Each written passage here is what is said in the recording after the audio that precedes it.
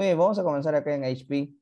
Eh, primero sobre esta época. Los primeros peruanos, los más antiguos, ¿ah? los más antiguos vamos a hablar. Así es. Los primeros hombres de Perú, los primeros peruchos.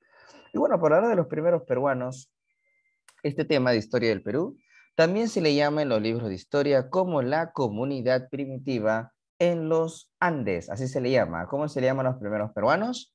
La comunidad primitiva en los Andes, en los Andes. También se le llama a esta época el precerámico, porque es una época donde aún no existe la cerámica. Muy bien.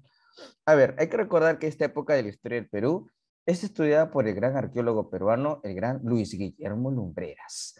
Y Lumbreras, cuando estudia las culturas, lo divide en tres etapas. La primera etapa se le llama el periodo lítico, la época donde nosotros somos depredadores, vivimos de la caza, de la pesca y la recolección. La siguiente etapa es el arcaico inferior, época en la cual nosotros en la tierra somos, en el Perú, semiproductores, vivimos de la domesticación de plantas y animales. Y la siguiente etapa es el arcaico superior, época en la cual nosotros somos productores. Sí, nosotros nos encargamos de desarrollar la agricultura y la ganadería. Gracias a eso tenemos alimento suficiente para volvernos sedentarios. Estas son las tres etapas del tema de los primeros peruanos. Ahora vamos a comenzar con la primera etapa llamado el periodo lítico. El periodo lítico, que es la época inicial de la historia del Perú, recuerda que el periodo lítico, ¿por qué se caracteriza, profesor? Vamos a ver aquí algunas características del llamado periodo lítico. Por ejemplo, en el periodo lítico vemos acá la economía de tipo semiproductora. ¿Qué significa tener una economía semiproductora? Significa que la economía de los peruanos se caracteriza por desarrollar, profesor, la pesca, la recolección, la caza, claro, caza, pesca, recolección. Somos depredadores, solo consumimos la naturaleza. En lo social nosotros nos organizamos en bandas, vivimos en cuevas, nosotros somos nómadas, viajamos constantemente buscando alimento de un lugar a otro lugar. Esas son las características económicas y sociales de los primeros hombres de esta época. Repito, características económicas sociales. También tenemos algo cultural. En lo cultural tenemos acá el uso de la piedra para elaborar herramientas líticas, entierros humanos también o prácticas funerarias, porque ellos creen en la vida después de la muerte. Sí, hay una creencia, repito, en la vida después de la muerte. También tenemos el arte rupestre, que son las pinturas en las paredes de las cuevas, porque ellos creen que así pueden representar el futuro. Así es, se representan el futuro con el arte rupestre, pintar las paredes. Muy bien, eso es la economía, es la sociedad, es la cultura. Economía depredatoria, sociedad de nómades y en la cultura el arte rupestre y los entierros. ¿Ok? Muy bien. Ahora, vamos a ver los retos arqueológicos del periodo lítico. Aquí en este mapa interactivo, solo en aula 20, te voy a presentar algunos departamentos del Perú. Por ejemplo, este departamento es, tú ya sabes cuál es, ¿verdad? Es Ayacucho, ¿verdad? Claro, miren muchachos. Justo dentro de poco voy a, voy a viajar a Ayacucho. Sí, el sábado estoy viajando a Ayacucho, muchachos. Quiero conocer la cueva de Piquimachay. Aunque ya la conozco, pero quiero hacer unos videos en 4K para la Academia Aula PT. Sí, sí, sí, ya vas a ver unos videitos de, de Pacaicasa, Piquimacha, no te preocupes. Pronto, pronto lo vamos a colgar, vas a ver. Muy bien, ahí está. En Ayacucho tenemos un lugar que se llama Pacaicasa o Piquimachay, donde se encontraron los restos de piedras más antiguos en el Perú tallados, ¿no? Restos líticos tallados. Los más antiguos, ¿ok? El resto de Pacaicasa, Ayacucho. Pero también tenemos por acá, vamos a ver, Lima. En Lima tenemos el resto de chivateros. En Chivateros tenemos un taller lítico, un taller de piedra, el más importante, el taller lítico de Chivateros en Lima. ¿Qué más, profesor? También tenemos por ahí, aparte, otro lugar, tenemos en Tacna. En Tacna tenemos nosotros el lugar llamado Toquepala. Toquepala en Tacna es importante porque se convierte en el lugar donde está la pintura rupestre más importante del Perú. Una pintura rupestre con la escena del del Chaco, rodear animales para poder cazarlos mejor. ¿Ok? Muy bien. ¿Qué más? También tenemos por acá otro lugar que es la libertad. ¿Dónde queda la libertad? La libertad, profesor, queda en la zona del norte. Hay un lugar que se llama Paiján. ¿Dónde queda la libertad? En Paiján. ¿Qué se encontró acá? Se encontraron los restos humanos más antiguos de la costa y de todo el Perú. Repito, los restos más antiguos de la costa y de todo el Perú. Luego tenemos Huánuco. ¿Dónde se encuentra Huánuco? En Lauricocha. En Huánuco, en Lauricocha, se encuentra el resto humano o los restos humanos más antiguos de la sierra. Huánuco, Lauricocha, repito, restos humanos más antiguos de la sierra. Estos son los restos del periodo lítico, también llamado periodo preagrícola. Sí, lítico o también llamado periodo preagrícola. Muy bien. Luego vamos a ver el siguiente periodo, el arcaico inferior, también llamado arcaico temprano o arcaico inicial. en este periodo, perdón, la economía del Perú es una economía semiproductiva, es decir, nosotros estamos empezando a cultivar, estamos empezando a producir nuestros alimentos por nuestra cuenta. Economía semiproductiva, horticultura, pesca con red, domesticación de animales. En lo social, dice, somos una sociedad de tipo seminómade. ¿Qué significa sociedad seminómade? Nosotros vivimos en base al uso de aldeas, creamos aldeas, y acá se da el matriarcado, es la época de importancia de la mujer, porque la mujer es fuente de vida, porque la mujer es fuente de reproducción. Hay una vida aldeana, hay un matriarcado. En lo cultural, con, el, con la fibra vegetal estamos creando canastas, cestas, cestería. Arte musical también con huesos de animales, como por ejemplo la flauta más antigua del Perú, y también redes de pesca. El uso de las redes de pesca va a permitir al hombre peruano adquirir una mayor eh, cantidad de, de productos o recursos marinos y así complementar mejor su dieta alimenticia. Es importante el uso de las redes de pescas porque la abundante cantidad de, alimento que proviene del mar eh, ocasiona que los peruanos empiecen a establecerse por mayor temporada en las costas, en el litoral peruano. Muy bien, estas son las características del arcaico inferior. Ahora, en un mapa interactivo, te voy a mostrar en qué lugares del Perú hay restos del arcaico inferior. Comenzamos, por ejemplo, con la zona de Cajamarca. Cajamarca, muchachos. Hay un lugar que se llama Nancho. Nancho, Cajamarca, se encuentra el primer horticultor. ¿Qué es un horticultor? Una persona que está domesticando plantas. Acá en Cajamarca, en Nancho, se encontró el primer domesticador de la calabaza, la calabaza, el maní también, el maní. También tenemos en Ancash otro lugar que se llama Guitarrero 2, que vendría a ser el segundo horticultor del Perú. El segundo domesticador de qué? De plantas. Él comía full menestras. ¿A ti te gustan las menestras de repente? El frijolito, el payar. Así es. Ah, claro, no hay problema. Solo porque son mi salón favorito. Claro que sí, claro que sí. Muy bien, ¿qué más? También tenemos por acá este departamento, Junín. ¿Por qué es importante Junín, muchachos? Tenemos ahí Telarmachain. Telarmachain Junín es importante porque se encontró acá el primer pastor, primer domesticador de llamitas. Ahí la vicuñita, pobrecita, el hombre de Telarmachain.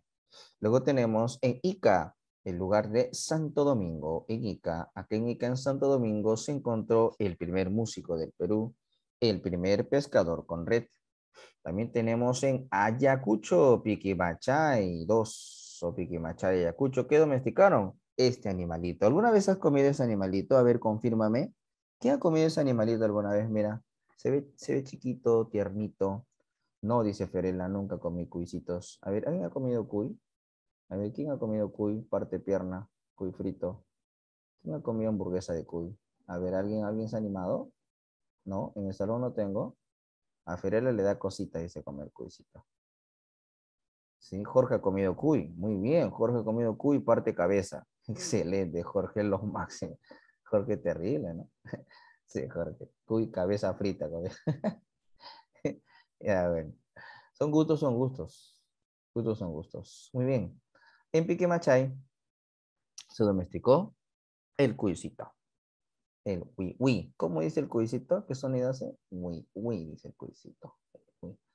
Muy bien, y en Lima tenemos un lugar que se llama Chilca, donde se domestica el perro peruano. Miren, este es el perro peruano, ¿verdad, chicos? Perro calato. ¿Quién tiene en su casa el perro peruano? A ver, avisen. De repente ustedes tienen ahí su perrito calato en su casa. ¿Alguien tiene el perro calato? ¿Sí? ¿No? ¿Qué dicen por ahí? No hay, no hay perro calato en la casa. Tienen otras racitas de perritos. Este es el perro peruano domesticado en Chilca. Así es, así es. Muy bien. Eso es el arcaico inferior, ¿sí? Y luego pasamos al siguiente periodo, arcaico superior. En el arcaico superior, nosotros vamos a ver otro tipo de características económicas. Acá nosotros, los peruanos, ya desarrollamos la economía de tipo productiva. Así es. Acá nosotros ya hacemos agricultura, acá nosotros ya hacemos ganadería, así es, agricultura, ganadería, Así nosotros acá desarrollamos el comercio, un trueque andino, claro. ¿Por qué comercio, profesor? Porque ellos acá están pues teniendo alimento de sobra. Y ante esa situación, ellos necesitan intercambiar sus productos. Eso es importante, ¿no? Ahora, en el aspecto social, ellos son sedentarios. ¿Qué significa ser sedentarios? Ellos se establecen de manera fija y permanente en un solo lugar, porque creen que ya pues lo tienen todo, ¿no? Ya lo tienen todo de manera suficiente, por eso se establecen de manera fija. La población aumenta. Ahora aparecen los llamados ayus. ¿Qué son los ayus? Ayus son estas comunidades integradas por hombres agricultores. Así es. También tenemos acá las clases sociales. Eh, imagínate, también tenemos acá, profesor, el surgimiento de sacerdotes Sí, acá aparecen los sacerdotes.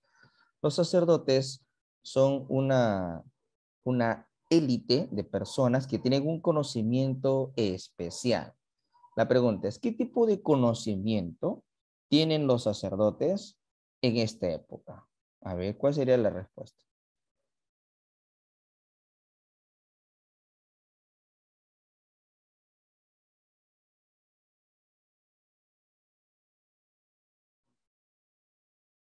A ver, ¿qué dicen por ahí? ¿Cuál es el conocimiento? Astronomía. Muy bien. ¿Alguien más quería opinar? Creo, me parece. Pido un micrófono activo. Ah, Juan Carlos. Muy bien. Están ahí los chicos conectados. Sí, pues no, el sacerdote es un astrónomo. Acá en el Perú los primeros sacerdotes astrónomos están interpretando los fenómenos de la naturaleza. Así es. Muy bien. ¿Qué más? Y en lo cultural tenemos eh, revolución urbana, ¿no? Revolución urbana. ¿Qué más, profesor? El tejido. Tenemos el tejido, la revolución urbana. vamos a ver por acá. ¿Qué más? Tenemos las ciudades, la ciudad más antigua de América, Caral, ¿no? Que aparece en esta época, Caral. Y tenemos los quipus. ¿Qué son los quipus? Cuerdas con nudos de colores que sirven para guardar información. Así es, los llamados tipos de esta época. Se crean desde el arcaico superior. Ahora nosotros vamos a ver en este mapa interactivo algunos lugares del Perú, donde se encuentran restos del arcaico superior, como por ejemplo, tenemos en La Libertad. En La Libertad hay un lugar que se llama Huaca Prieta. Huaca Prieta en La Libertad. Acá se encuentra el tejido, el arte textil o tejido más antiguo del Perú. ¿Qué más? Otro lugar. Vamos a ver por acá. Huánuco. En Huánuco que se encontró un lugar que se llama Cotosmito. ¿Y qué es Cotosmito? Cotosmito es el lugar donde se encuentra el famoso templo de las manos cruzadas. Así es, la escultura de las manos cruzadas. ¿Qué más? También tenemos por acá, en Lima, tenemos varios lugares del arcaico superior. Tenemos Tabla de Lurín, por ejemplo. Tenemos Cerro Paloma, por ejemplo. Y el lugar más importante sería Caral, donde se encuentra la ciudad más antigua de América, donde se encuentra la primera civilización, donde se encuentra el primer estado, donde en Caral. Así es, en Caral. Muy bien, muy bien, ahí está. Ahí estamos viendo algunos aspectos importantes acerca del arcaico superior. ¿Sí? Muy bien. Y luego de eso, ¿qué más sucede? Vamos a ver qué más pasa, pero en el siguiente momento. Ya hemos hablado de los primeros peruanos. Ahora vamos a hablar de las culturas preincas. Así es. Vamos a compartir estas imágenes de las culturas preincas. Acá está. Miren, ahí está. Culturas preincas. Ahí tenemos una imagen con, con cerámicas nítidas en 4K en alta resolución. A ver, para recordar el tema de las culturas preincas, lo primero que tenemos que recordar, ¿no? Es a los arqueólogos que estudian las culturas, ¿no? Y ahí tenemos a dos. Tenemos a uno que se llama John Rowe. John Rowe. ¿Y por qué se caracteriza John Rowe? Por estudiar las culturas en base a la cerámica. ¿En base a qué? A la cerámica. Muy bien. Para él, el horizonte es una etapa en la cual aparece una cultura grande que domina gran parte del Perú. A esa época se le llama horizonte chavín, ahí está la cerámica de la cultura chavín, ¿no? También tenemos acá otro periodo llamado intermedio, el intermedio temprano. El intermedio temprano es el periodo donde aparecen varias culturas pequeñas, locales y fragmentadas, ¿no? Como la cultura mochica, la cultura nazca, la cultura tiahuanaco, ¿no? El intermedio ¿Qué más? También tenemos el horizonte medio. Es el periodo en el cual tenemos nuevamente una cultura grande, en la cultura Wari, así es. Luego tenemos el intermedio tardío, época de varias culturas pequeñas locales, el intermedio tardío, así es. Y luego tenemos el horizonte tardío. El horizonte tardío entonces es otro periodo en el cual aparece una cultura cuya cerámica va a ser bastante importante, ¿no? Una de las culturas más grandes e importantes de esta época, las que están acá, ¿no? Es la cultura inca, cuya cerámica se va a ver repetida cada momento en distintas zonas del Perú. Entonces, las culturas horizontes son las culturas grandes que se expanden en gran parte del Perú, que tienen un gran dominio en gran parte del Perú. Esas son las culturas horizontes. Y las culturas del intermedio son culturas cuya cerámica solo se encuentra en una zona, nada más. Son culturas, repito, con cerámicas locales. Son culturas con cerámicas que están en un solo lugar, ¿no? Por eso le llaman culturas con cerámicas de tipo locales. Muy bien.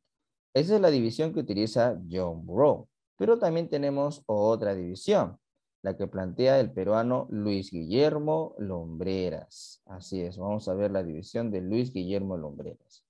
Para Lumbreras, la época inicial de las culturas, se le llama el formativo andino.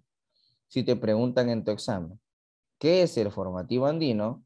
Es el periodo donde aparecen las primeras culturas. Es el llamado formativo andino. Ahí está Chavín, por ejemplo, ¿no? Ahí aparece Paracas, por ejemplo, ¿no? Luego tenemos acá otro periodo que es el desarrollo regional. Así es. Para el Gran Lumbreras, el desarrollo regional es el periodo en el cual aparecen varias culturas pequeñas, locales. Es el llamado desarrollo regional. Luego Lumbreras dice que aparece un imperio. Hay un imperio. ¿Qué imperio? El imperio Wari. Claro, para Lumbreras el imperio Wari es el primer imperio que surge en el Perú. El primer imperio andino o imperio Wari. Luego Lumbreras dice que hay otra época llamado los estados regionales. Es un periodo donde aparecen varias culturas pequeñas, locales en el Perú, ¿no? Los estados regionales. Así es, muy bien. Y luego tenemos el imperio Inca. El imperio Inca, ahí está, que sería el segundo gran imperio del mundo andino. Claro, o sea, después, repito, después de los Wari, el segundo gran imperio andino sería el imperio inca. Muy bien, entonces tenemos acá John Rowe con horizontes intermedios y tenemos a lumbreras con formativos y desarrollos regionales. Así es, así es. Ahora lo que vamos a hacer nosotros es explicar las culturas, pero para eso, acá está Paracas, ¿no? Por ahí nos podrían preguntar, profesor, ¿y dónde está Paracas? Bueno, Paracas se encuentra acá, en el formativo andino o u horizonte temprano. ¿Sí? Ahora, nosotros vamos a explicar esta primera etapa, el formativo andino. Eh, ¿Cómo sabemos nosotros que estamos en el formativo andino? Bueno, la respuesta es sencilla, ¿no? Es porque en el formativo andino aparecen algunas características que nos dan a entender que ya estamos en este momento. ¿Cuáles son las características del formativo andino? Entre las características del formativo andino, vamos a ver por acá. A ver, a ver, tenemos la aparición de la cerámica. Así es. Cuando una cultura tiene cerámica es porque estamos diciendo que pertenece al formativo andino. Cuando en el Perú hay cerámica, pertenece al formativo andino. Así es. También debe haber tejido, textilería. Cerámica, textilería, orfebrería, litoescultura. Litoescultura, ¿qué es? Profesor, el tallado en la piedra. ¿Qué más? También tenemos teocracia. Teocracia. Ahí está, gobierno de sacerdotes en esta época. ¿Qué más? También tenemos, profesor, el jaguar, el culto de jaguar, ¿no? Claro, el culto del jaguar, porque es considerado un animal sagrado en esta época. El culto del jaguar. Muy bien. También tenemos el ayu. ¿Qué es el ayu? Es la comunidad, ¿no? Es la comunidad que había venido desde el arcaico superior acá se están organizando. Así es. ¿Ok? Muy bien. ¿Qué más? También tenemos el cultivo del maíz.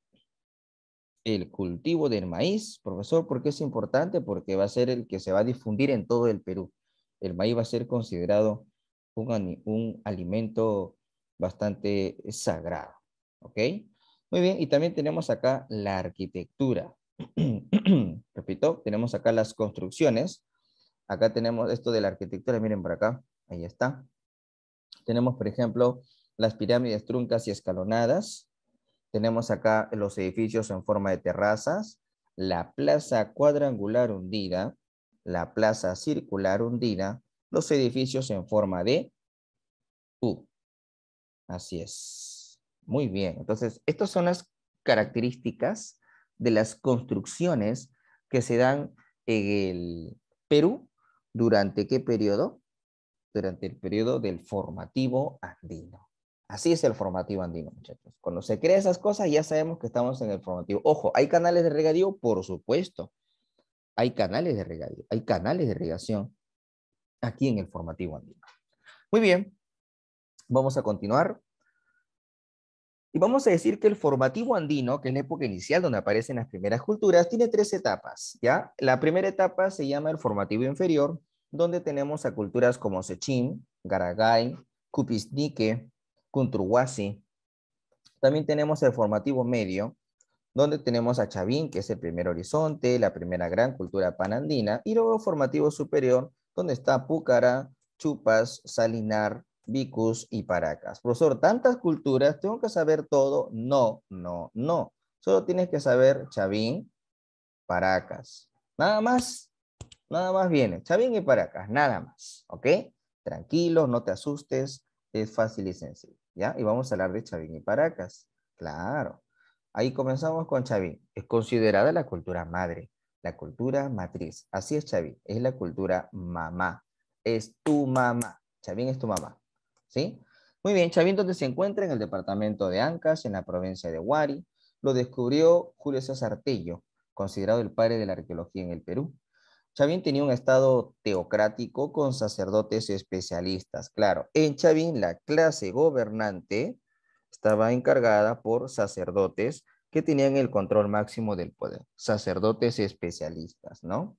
Eh, la religión de Chavín era una eh, trilogía, ¿no? Había en Chavín tres animales sagrados, el jaguar, la serpiente y el águila arpía o águila amazónica. ¿Qué más? La economía, la agricultura, los tributos de los ayos, etcétera. Así era, ¿no? La economía, la agricultura y tributos de los ayos. ¿Qué más? En la cerámica. En la cerámica teníamos el uso ceremonial para ofrendas en la cerámica, donde se representaba el rostro del jaguar, por ejemplo. La cerámica con el rostro del jaguar, la base plana. Muy bien, también tenemos por acá la litoescultura. ¿Qué es la litoescultura? Es el tallado en la piedra. Así es.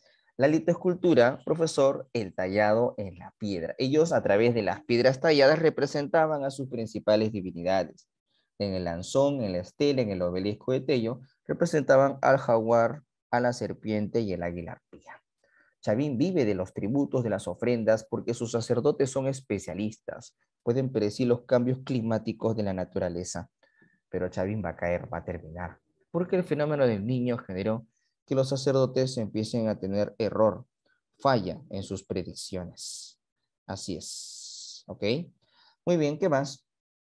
En el horizonte temprano tenemos también la cultura Paracas. La cultura Paracas eh, se encuentra en Ica, en el Cerro Colorado. También lo estudia el gran Julio César Tello. Paracas es una cultura gobernada por una élite sacerdote militar. Así es, el Estado teocrático militar lo vemos en Paracas. ¿Qué más, profesor? Vamos a ver por acá. Paracas tiene eh, dos fases, ¿no? ¿Qué tipo de fases? Eh, Paracas cavernas y Paracas necrópolis. Así es. También sobre los paracas hay que recordar el tejido, ¿no? El tejido paracas. Los tejidos de paracas eran los mantos más finos y elegantes del Perú. Sobre los tejidos paracas hay que recordar que eran para representar a sus principales divinidades. Y luego tenemos las deformaciones craneanas. Los paracas tenían por costumbre deformarse los cráneos. ¿Para qué? ¿Cuál era el objetivo de deformarse los cráneos? El objetivo era sentirse distintos al montón, ¿no? Sentirse distintos al montón. Así es. Eh, ¿Qué más? Trepanación craneana. Los paracas también hacían huecos en la cabeza para desarrollar intervenciones quirúrgicas, las famosas trepanaciones craneanas de los llamados paracas, los grandes paracas y las trepanaciones de los cráneos. Así es. ¿Qué más, profesor? Recuerda que los paracas son los mejores médicos cirujanos, ¿sí? Los mejores médicos cirujanos. Los paracas son los mejores tejedores también del antiguo Perú. Intermedio temprano. ¿Qué es el intermedio temprano? Es un periodo que viene después de Chavín y Paracas. Y el Perú está así, miren. Este es el mapa del Perú durante el periodo llamado intermedio temprano o primer desarrollo regional. Así es. ¿Qué es lo que vemos acá? Lo que vemos acá son varias culturas fragmentadas, partidas, en el, claro, varias culturas pequeñas, fragmentadas. Eh, Mochica en Nambayeque, eh, Nazca en Ica, Tehuanaco en Puno, etc. Estas culturas pequeñas, locales, fragmentadas, tuvieron cerámicas individuales. Tuvieron cerámicas bastante particulares, así es, ¿no? Vamos a hablar de alguna de estas eh, cerámicas. Eh, vamos a ver por acá. Comenzamos con la cultura mochica. ¿Qué es lo que tienes que recordar de los moche? Bueno, los moches se ubicaron en Lambayeque, La Libertad. Los estudió Maxul, el arqueólogo alemán. Sobre los moche tenían una clase gobernante llamado Siekik, ¿no? Eh, o Alaek, también le dicen a los moche. En la arquitectura, en la arquitectura moche, vemos acá que ellos utilizaban construcciones en base al adobe, en base al adobe. Estas construcciones con adobes, ¿no? Así permitían a los moche tener huacas. ¿Y qué son las huacas? Son estos templos grandes. Huacas o templos grandes. Tenías la huaca de la luna, tenías la huaca del sol, la huaca rajada, donde se encuentra la tumba del Señor de Zipán, por ejemplo, ¿no? Y la Huaca del Brujo, donde se encuentra la tumba de la Dama de Cao, una mujer sacerdotisa. En Moche su principal divinidad fue Ayapaek, el dios de Goya. Los moches son buenos trabajando los metales, trabajan el oro, la plata.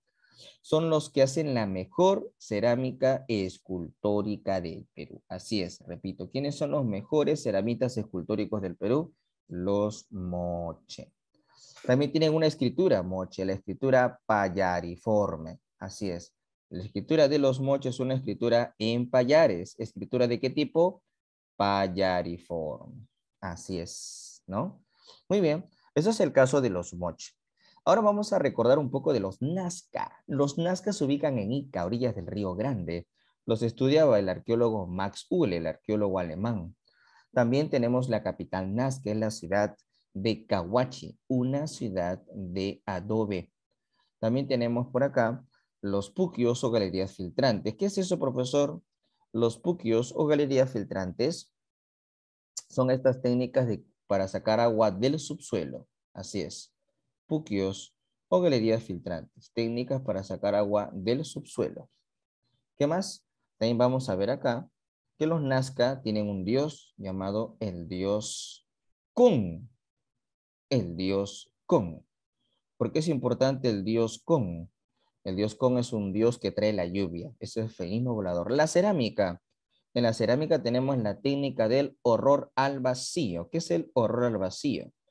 Es que los Nazca llenaban todo el contorno de la cerámica. ¿De qué? De dibujos, de imágenes. Así es. Muy bien. Eh, la sociedad presentaba estas cabezas trofeo. Cada cabeza era un trofeo de guerra. Por eso le dicen las cabezas trofeo. Ellos se interesaban por coleccionar bastantes cabezas humanas, ¿no? Por eso se de qué? De las famosas cabezas trofeo, una sociedad bastante guerrera. Y sobre las líneas de Nazca, tenemos al descubridor, que es Toribio Mejía Céspedes, el descubridor de las líneas. Pero la principal investigación lo hace María Reich, ¿verdad? María Reich hace la principal investigación de las líneas, que dice que las líneas son un calendario agrícola. Así es. Calendario agrícola, también llamado calendario astronómico. Muy bien, eso es Nazca. Vamos a ver ahora la cultura tiahuanaco. Sobre la cultura tiahuanaco, vamos a ver por acá, donde se encuentra en el altiplano, en la meseta del Collao. Pedro César de León es el español que por primera vez ve la cultura eh, tiahuanaco, así es. También tenemos acá los camellones o guaruguaro. Los camellones o guaruguaro son una técnica agrícola de los tiahuanaco que se caracteriza por tener chacras, ¿de qué tipo? Chacras elevadas, como vemos acá. Los cultivos se hacían en la parte alta. Así es. ¿Qué más? Y vamos a ver por acá también otra característica. A ver, la economía denominada control vertical de los pisos ecológicos. ¿Qué es el control vertical de los pisos ecológicos? Los tiahuanaco podían eh, adquirir productos agrícolas de distintos lugares del Perú. Así es, los tiahuanaco tenían productos de la costa, de la sierra, de la selva. Así los tiahuanaco complementaban su dieta alimenticia. Repito, con productos de distintas zonas del Perú, ellos complementan su dieta alimenticia. Comen de todo un poco. Tienen una variedad de alimentos. Así es. Muy bien, muy bien. Y también tenemos por acá otra característica que es la divinidad. El Dios. ¿Qué Dios? El Dios Huiracocha. El Dios de las varas. El Dios de los báculos. El Dios Huiracocha, Dios de las varas o de los báculos, acá en Tiahuanaco le llaman el Dios Llorón. Porque se caracteriza porque en sus ojos tienes unas grandes gotas o grandes lágrimas. Por eso le llaman el dios llorón. En Tiahuanaco ellos tienen este vaso ceremonial llamado el quero. El quero es el vaso ceremonial de la cultura tiahuanaca que luego los incas lo van a usar, que luego los incas lo van a, a implementar. Así es, el famoso quero.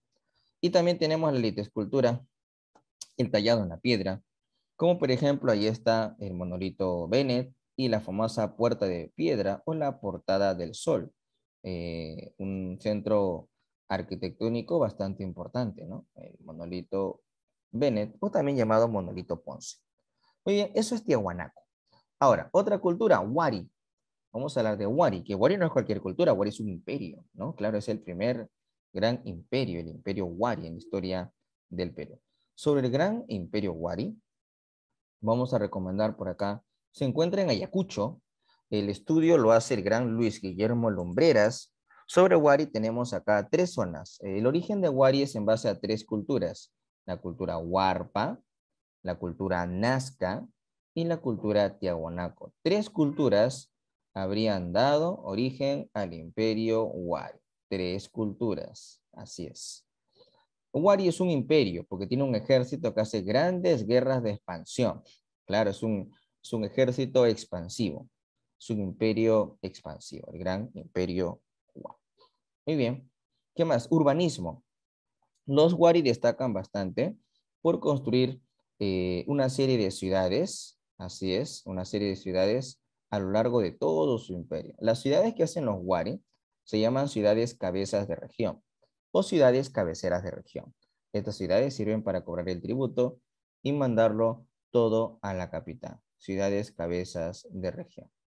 Luego tenemos la cerámica.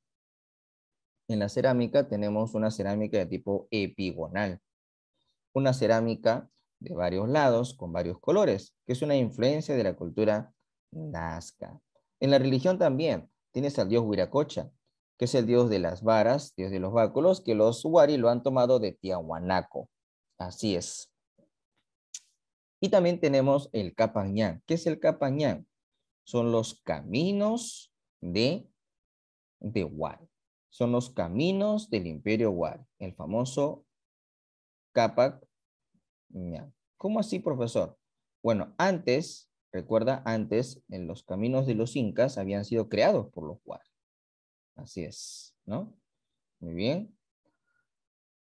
El imperio Wari, ¿por qué llega a su final?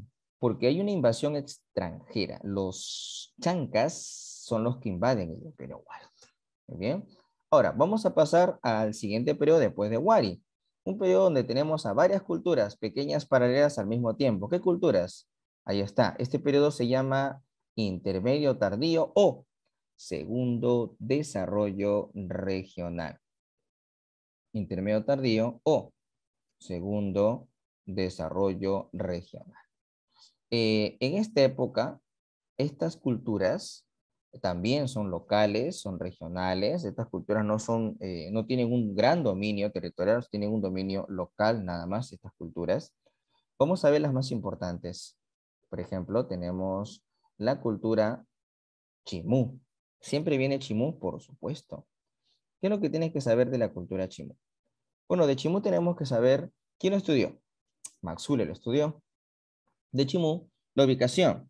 Se encuentra en, la costa norte, en la Libertad. La capital es la ciudad de barro más grande de toda Sudamérica, la ciudad de Chan Chan, la ciudad de Chan Chan. En la agricultura, tienen una técnica agrícola llamada huachaques, o también llamado chacras hundidas, profesor. Huachaques o chacras hundidas. Así es, ¿no? Muy bien. En la orfebrería, ellos trabajan los metales. Sí, trabajan los metales, oro, plata, cobre, así es. En la cerámica, hay una cerámica que es mm, monócroma, ¿no? En la cerámica chimú, una cerámica de un solo color. El comercio. En el comercio, los chimú desarrollan estas achitas de cobre. El comercio tiene achitas de cobre para intercambiar productos. Son como las monedas. Son las primeras monedas del, del Perú de esta época, las achitas de cobre. ¿Ok? ¿Qué más?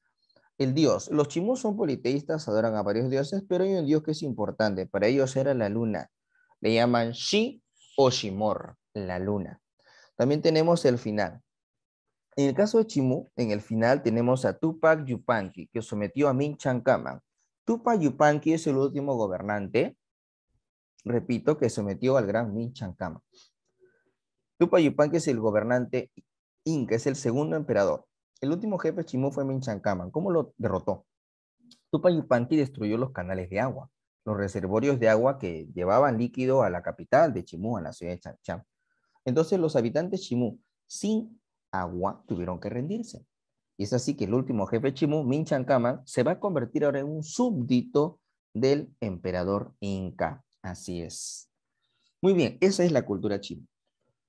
Otra cultura que nos preguntan bastante en examen es la cultura chinchana, los chincha. De los chincha tenemos que saber primero dónde están ubicados en el departamento de Ica. ¿Quién nos estudia? Max Ule. ¿Qué tipo de política tienen? Es un estado talasocrático. ¿Qué significa estado talasocrático? Es decir, ellos tienen un gran dominio sobre el mar. Recuerda, estado talasocrático es un gobierno, es un dominio, repito, sobre el mar. ¿Ok? Muy bien. Capital de los chinchanos. Tambo. ¿Tambo de qué? Tambo de Mora. Es una capital que se basa en, la, en el uso de adobes grandes. Ellos emplean adobes grandes, también llamado adobón, adobe grande o adobón. Eh, algo importante de los chinchanos es el comercio. Ellos tienen un circuito comercial bastante interesante. Su comercio tiene tres puntos. Desde las playas de Chincha se van por las sierras del altiplano y por el mar se van hasta las costas de Ecuador. Así es, tienen un comercio en tres puntos. Eso se le llama comercio triangular. Así es, comercio en tres puntos o también llamado comercio de qué tipo? Triangular. ¿Qué es lo más importante que traen de Ecuador? estas conchas llamadas muyus o spondrios. ¿Para qué sirven las conchas muyus o spondrios? Sirven como ofrenda, sirven como alimento de los dioses también. Así es. ¿Ok? Muy bien. ¿Qué más? Bueno, vamos a ver otra característica, la cerámica. La cerámica es una cerámica de forma globular con cuello largo, también trabajan los metales, tienen estos vasos de oro, también llamados los vasos narigoneros, que representan a la clase alta seguramente, sus gobernantes, ¿sí? Y también tenemos la silografía. ¿Qué es la silografía? Es el tallado en madera. Ellos hacen remos para hacer sus expediciones por el mar. Y su divinidad, Chincha y Cama, considerada la principal divinidad de la cultura chincha. Claro que los chinchanos le decían Urpihuachay. Los incas lo conocían como Chinchay Cabac. Así es. Muy bien. Entonces, acá es donde estamos viendo sobre la cultura chinchana, el estudio de los chincha. Y ahora vamos a ver por acá eh, otro aspecto que tiene que ver con la cultura inca. Vamos a hablar un poco de la cultura inca en el Perú. vamos a compartir ahora un poco imágenes sobre los incas. A ver un momento por acá. Acá está, listo, ya lo hemos encontrado. Vamos a seguir compartiendo. Vamos a ver por acá. Listo. Muy bien, para continuar con el tema de incas. ¿Dónde están los incas? Los incas aparecieron en el, al sur de Cusco, ¿no? A orillas del Titicaca. ¿Claro? Los incas, eh, cuando crecen como imperio, van a formar un imperio de cuatro grandes regiones en Tahuantinsuyo, el imperio de cuatro regiones. Así es. Por el norte tuvieron un límite hasta el río Ancasmayo, por el sur hasta el río Maule, por el este la Ceja de Selva, por el sureste Tucumán, Argentina, y por el oeste el Pacífico. Así es. Eh, los incas abarcaron países como Argentina, Chile, Perú, Bolivia, Ecuador y Colombia, no Brasil. Recuerda que los incas no se establecieron en Brasil por el difícil acceso a esa geografía. El imperio va a ser dividido por Pachacútec en cuatro grandes suyos o regiones. El Chincha y suyo, Coya suyo, Conti suyo, Anti suyo. Muy bien. En el caso del Cusco, ¿no? Cusco, ombligo del mundo, así es. Em, en el caso del Cusco, es la capital del imperio. En el caso del Cusco, que es la capital, eh, vamos a ver que acá se está desarrollando la forma del puma. El Cusco va a tener el diseño de un puma, porque el puma es considerado un animal sagrado en esta época. Así es. Eh, ahora, vamos a hablar un poco de los incas emperadores, ¿no? Los incas que suelen venir bastante en examen. Y comenzamos con Pachacútec, ¿no? Considerado el inca emperador, el primer emperador inca, luego de derrotar a la cultura chanca. ¿En qué momento los incas se convierten en un gran imperio? Luego de derrotar a la cultura chanca. Así es. Pachacútec es el que funda el imperio, organiza el imperio, reconstruye el Cusco con el diseño de un puma, es el Inca arquitecto. Con Pachacútec se construye Machu Picchu, Sacsayhuamán, Coricancha. Se hace la MITA, que es el sistema de trabajo obligatorio y por turno para el Estado. Y con Pachacútec se establece el cargo de mitimaes. ¿Quiénes son los mitimaes? Son estas poblaciones que son trasladadas de un punto a otro con diferentes objetivos, los llamados mitimaes. Muy bien. Eh, luego tenemos al siguiente emperador, que sería Tupac Yupanqui, considerado el más grande conquistador. Así es, a Tupac Yupanqui por eso lo comparan con Alejandro Magno, le llaman el Alejandro Magno de América. al gran Tupac Yupanqui. Repito, Alejandro Magno de qué? De América. ¿Qué conquistó el gran Tupac Yupanqui? Bueno, él conquistó una serie de lugares, como vamos a ver por acá. A ver, él conquista por el norte hasta Ecuador, ceja de selva, conquista a los argentinos, a los chilenos, hizo una alianza con la cultura chincha, los grandes chinchanos. Así es. Muy bien, también tenemos por acá que el gran Tupac Yupanqui hizo una gran expedición por el mar. Por eso le llaman Tupac Yupanqui, el Inca navegante. Sí, el Inca navegante. Ahí nos escriben por interno. Profesor, ¿derrotó a los Chimú? Claro, a Min Chancama, ¿verdad, Marco? Lo máximo, muy bien. Y luego de Tupac Yupanqui tuvo su, su Auki, su hijo heredero, que es Huayna Cápac. Recuerda que con Huayna Cápac los incas llegaron a su límite final. Con Huayna Cápac los incas llegaron a su máxima expansión, el imperio inca, ¿no? Huayna Cápac logró las últimas conquistas. ¿Cuáles son las últimas conquistas de Huayna Cápac? Llegó a conquistar a los colombianos hasta el río Ancasmayo. Pero durante su gobierno se reportaron constantes, constantes luchas, ¿no? Había muchos pueblos que buscaron liberarse, que buscaron emanciparse. Claro, claro, muy bien. Entonces, cuando está Huayna Cápac en el poder, es una época de caos, es una época de constante conflicto, es una época de constante inestabilidad. Caos, conflicto, inestabilidad. Y en esos momentos de caos, de conflicto y de inestabilidad, ¿quiénes están llegando? En esos momentos es donde llegan los españoles y encuentran una situación de un Perú bastante partido, un Perú bastante fragmentado. Así es, en la época entonces del caos, de las guerras civiles. Muy bien, así es como termina el gran Huayna Capac. Luego, vamos a ver por acá, de los tres emperadores, tenemos la sociedad inca. ¿Cómo es la sociedad inca? Bueno, en la sociedad inca tenemos una nobleza de sangre, que son los parientes del inca, integrados por las familias reales, conocidas como las panacas. Luego tenemos la nobleza de privilegio. La nobleza de privilegio son las personas integradas, ¿por qué? La nobleza de privilegio, repito, son aquellas personas que son de la nobleza de otros pueblos, de otras culturas, y el Inca los va a mantener como nobles, pero tienen que estar supeditados al Inca. Los Runas, ¿quiénes son? son los hombres que viven en comunidades, en ayllus, y hacen el trabajo para el Estado inca, hacen la mita, que es el principal trabajo obligatorio para el Estado, el trabajo de la mita. Luego tenemos a los mitimaes, que son pueblos enteros, comunidades que se trasladan de un punto hacia otro por turnos, así, los mitimaes, se van de un lado a otro por turnos para trabajar eh, en tareas específicas dadas por el Inca. Los yanaconas son los sirvientes perpetuos de la nobleza inca. Son los sirvientes perpetuos de la clase alta, los llamados yanaconas. Las agyas, ¿quiénes son las agyas? Son las vírgenes del sol. Son las mujeres escogidas. Están eh, dedicadas a tiempo exclusivo y completo a atender las necesidades de la nobleza. Pero ¿cómo? Ellas viven encerradas elaborando el tejido y la ropa más fina del imperio. Eso hacen las agyas. Luego tenemos a los piñas. Son esclavos prisioneros de guerra, trabajan en la selva cultivando coca, cargan los enormes bloques de piedra, los llamados piñas, ¿no?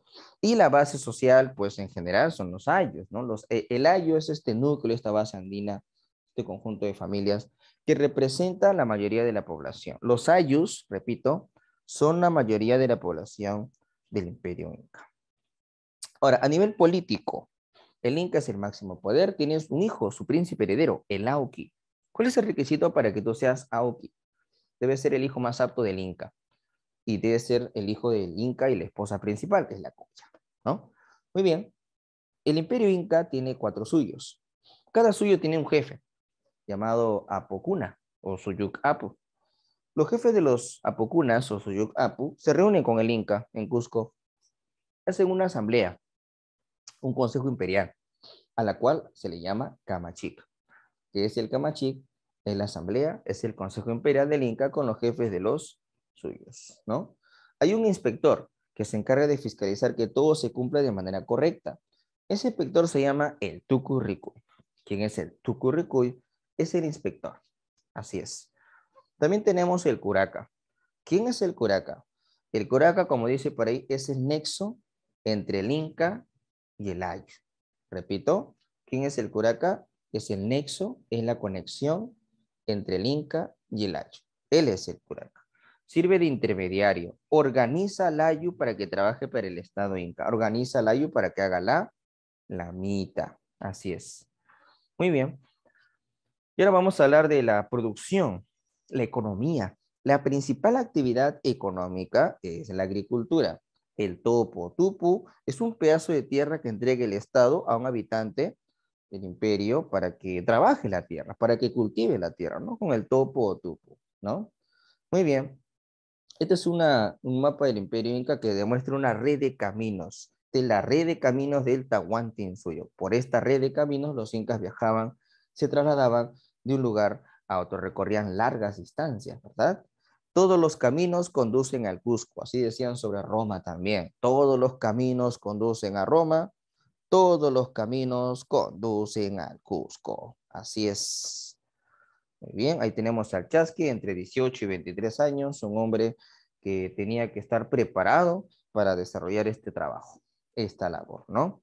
Muy bien, recuerda que hay depósitos de comida en el, en el trayecto del camino Inca, ¿no? Tenemos los tambos. Los tambos son depósitos del Estado Inca, depósitos donde se guarda el alimento del Estado Inca, los famosos tambos. Están en los caminos, pero también son lugares de descanso. En un tambo hay comida y hay un lugar para que descansen los viajeros o el ejército inca que también se desplaza por esa zona, ¿no? Muy bien, las colcas, ¿qué son las colcas? Las colcas son estos depósitos del Estado profesor. Son depósitos del Estado donde solo se guarda comida, nada más. Las colcas son los depósitos del Estado donde solo se guarda comida, ¿no? Muy bien, eh, ahí está. Y ahora vamos a hablar un poco de los principios de la economía inca. En economía inca tenemos dos principios. Hay un principio que se llama la reciprocidad. ¿Y qué es la reciprocidad? Es el principio que establece que entre los miembros del AYU o la comunidad debe existir una ayuda mutua. Repito, entre los miembros del AYU o la comunidad debe existir una ayuda mutua. ¿no? Ese es el principio de reciprocidad. Hoy por ti, mañana por mí. Tú me das y yo te doy. Y el otro principio es la redistribución. ¿Qué es la redistribución? Es el principio que establece que el Estado reparte las ganancias, las riquezas entre la población. A ese principio, ¿cómo se le llama? La redistribución. El reparto de las ganancias del Estado entre la población. ¿Cómo se le llama eso? Se le llama la redistribución, pero no se le reparte a todos de manera equitativa, sino de acuerdo a lo que tienen. Claro, el reparto es de acuerdo al cargo político que una persona posee. Así es. Muy bien. ¿Qué más? Ahora, los tipos de trabajo Inca. Tenemos el AINI. ¿Qué es el AINI? Es el tipo de trabajo de ayuda mutua, ¿no? un favor se paga con otro favor. Ese tipo de trabajo se llama el AINI. También tenemos la MINCA. ¿Qué es la MINCA? Es el trabajo que hace la comunidad para beneficio de la misma comunidad. Repito, que es la MINCA, trabajo comunal para beneficio de la comunidad. Ese tipo de trabajo, ¿cómo se llama? Se llama la, la MINCA. ¿Ok? Muy bien. ¿Qué más? Y también tenemos la MITA. ¿Qué es la MITA? es el trabajo obligatorio que hace el Estado. ¿Qué haces para el Estado? Los ayus o comunidades trabajan de manera obligatoria para el Estado. Eso se le llama la mita. Así es, ¿no? Muy bien, de los tres trabajos que están en la pantalla, ¿cuál es el más importante? Es el trabajo que genera recursos para el Estado. Y este trabajo es la, la mita. Es el que genera mayores ingresos para el Estado, es el más importante, la mitad. Muy bien, ahora vamos a ver acá eh, algunos aspectos relacionados a, la invasión española. Claro, los españoles cuando invaden América, como tú ya sabes, lo hacen porque Constantinopla había caído y los europeos buscaban rutas comerciales, ¿verdad? Claro, recuerda tú, eso te expliqué en Historia Universal, los viajes portugueses y los viajes de Colón. Luego de los viajes portugueses y los viajes de Colón, Europa empieza a llegar a América y en Panamá, donde están los españoles en Panamá, se crea una empresa para invadir las tierras del sur. Esa empresa se llama Empresa de Levante. Si te preguntan, ¿para qué es la empresa de Levante? Para invadir las tierras del sur. Esta empresa va a estar dirigida por el gran Pizarro, que es el, el jefe de la empresa, Pizarro, que tiene su socio llamado el señor Diego de Almagro. También tiene su socio llamado Hernando de Luque, que va a ser el procurador. También tenemos por acá a Pedro Arias Dávila o Pedrarias, el gobernador de Panamá, y Gaspar de Espinosa, ¿no? El otro financiero. Entonces tenemos acá a cinco, cinco socios de la empresa, cinco socios de la invasión. Así es, cinco socios de la empresa de Levante. Y Pizarro hace sus viajes. ¿Cuántos viajes hizo Pizarro?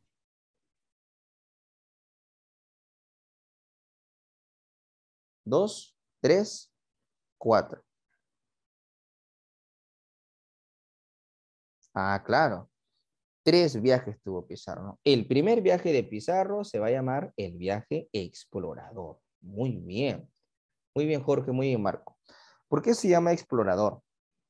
Porque lo que hace Pizarro solo es explorar las costas de Colombia, Panamá. Eh, por eso el resultado del primer viaje va a ser un fracaso. Así es. El primer viaje en qué termina? En un fracaso. Por ejemplo, Almagro, en el primer viaje, Almagro pierde, pierde un ojo. Es por eso que van a ordenar, ¿qué cosa? Eh, destruir un pueblo, ¿no? A eso se le llama el pueblo quemado, que quedará destruido. Almagro ordena destruir el pueblo. ¿Cómo se llama ese lugar? El pueblo quemado. Bueno, es parte de, lo que se hace en esta época, ¿no? Los castigos por algunas represalias. Y luego Pizarro hace el segundo viaje. Sale de Panamá, como siempre en el segundo viaje, parte de Panamá, se va por la zona de la isla del Gallo. En la isla del Gallo, acá en las costas de la zona de Ecuador, se produce el famoso incidente de la isla del Gallo. ¿Por qué se caracteriza el llamado incidente de la isla del Gallo? ¿Qué es el incidente de la isla del Gallo? El incidente de la isla del Gallo es, profesor, el momento más complicado de los viajes de Pizarro, porque acá hay un momento donde los españoles parece que no quieren continuar. Así es. Los españoles no quieren seguir, los españoles no quieren continuar y Pizarro tiene que preguntarle, tiene que preguntarle a sus tropas si desean o no continuar. Así es. Entonces, eh, finalmente son tres españoles los que deciden viajar, los que deciden continuar en la llamada isla de Gal. Y Pizarro sigue avanzando, llega hasta Tumbes. Tumbes que va a ser la primera ciudad inca que llegan a conocer los eh, españoles. Cuando los españoles llegan a conocer Tumbes, se dan con esta sorpresa, ¿no? De que Tumbes es una ciudad que demuestra que el imperio inca existe y este imperio inca que existe, pues, eh, ¿qué significa eso, no? Hay que apoyar al imperio, hay que invadir este imperio, pero como es muy grande el imperio, como es demasiado grande el imperio, es que se va a pedir permiso. Se va a solicitar un permiso a quién? Al rey de España. Es allí donde se solicita el permiso al rey de España. ¿Qué permiso? La capitulación de Toledo. Ahí está. Ese es el permiso más importante que debemos saber. ¿Cuál es el permiso para invadir el suyo? En la capitulación de Toledo. En dicho permiso, recuerda que se establecían las condiciones ¿para qué? Para entregarle beneficios a Pizarro. La empresa de Pizarro, que era una empresa de Levante, ahora sería una empresa estatal, administrada por el Estado. Así es. Muy bien. Además, Pizarro con el tercer viaje va a llegar a fundar la primera ciudad española en el Perú. ¿Cuál es la primera ciudad fundada por los españoles en el Perú? La ciudad de, ¿qué ciudad? San Miguel de Piura, o también llamada San Miguel de Tangarará. fue la primera ciudad fundada por los españoles en el Perú. San Miguel de Piura o San Miguel de Tangará. Así es. Y luego Pizarro llega hasta Cajamarca. En, en Cajamarca Pizarro encuentra al Inca Atahualpa. ¿Y qué hace Pizarro? Bueno, se le da la consulta popular al Inca si puede someterse de manera pacífica. ¿Cómo se llama esa consulta popular que se le hace al Inca? Se le llama el requerimiento. El requerimiento era el pedido al Inca para que se someta de manera pacífica. Como el Inca no entendió el requerimiento, los españoles iniciaron con el ataque directo contra el Inca. Así es. Finalmente capturan al Inca Atahualpa, lo van a tener preso casi un año y lo matan. Muerto el Inca Atahualpa, los españoles empiezan a apoderarse de las tierras del Perú. Y entre los españoles empiezan a luchar por tener algunas tierras también llamadas encomiendas, ¿verdad? Tierras o encomiendas. Así es. Muy bien, y ahora lo que vamos a ver es la época de las preguntas, ¿no? Vamos a ver algunas preguntas por acá con ustedes. Vamos a compartir pantalla. Acá está.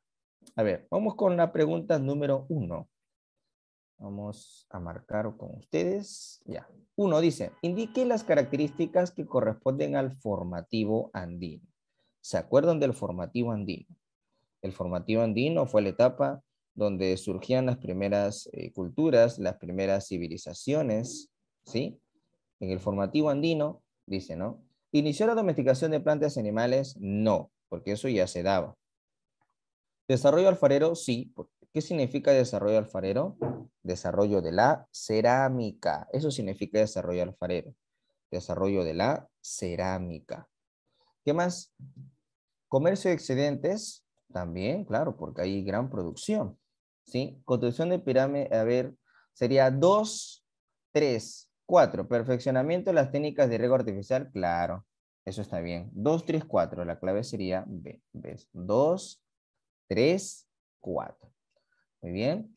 Siguiente pregunta. Dice, las construcciones hidráulicas de los moche tenían como objetivo, a ver, los moche, construcciones hidráulicas. En la costa norte tenían bastantes ríos, bastantes valles, era la cultura multivalle, los moche. Las construcciones hidráulicas, ¿qué objetivo tenían? Acá sería ah, canalizar tantos, tantos, el agua que viene de tantos ríos. Hay un montón de ríos. Peña, Jequetepeque, Virú, Chicama, etc. Muy bien, siguiente pregunta.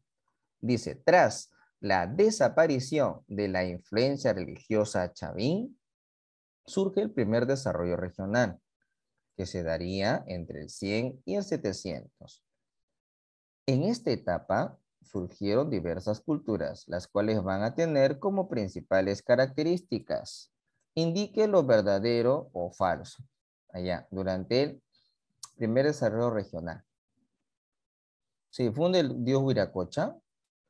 Estilos alfareros, máximo nivel de tecnicidad. Ah, eso sí. El estilo de la cerámica es muy bueno, ¿no? La mejor cerámica.